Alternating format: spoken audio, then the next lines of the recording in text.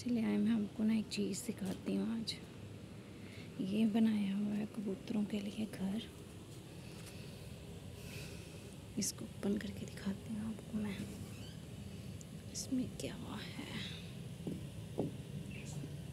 ये कपड़े वगैरह इसलिए डाले हैं कि बिल्ली वगैरह ना इसको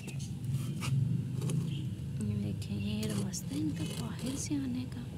ये अंदर आने का और यहाँ घोंसला और ये देखो अंडे।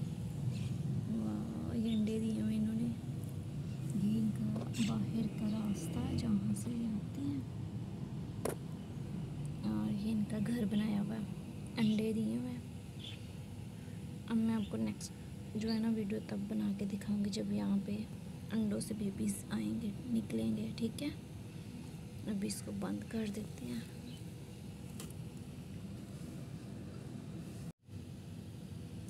इसको वापस बंद कर देते हैं। हम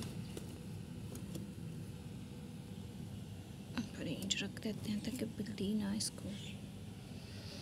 छेड़े। बस।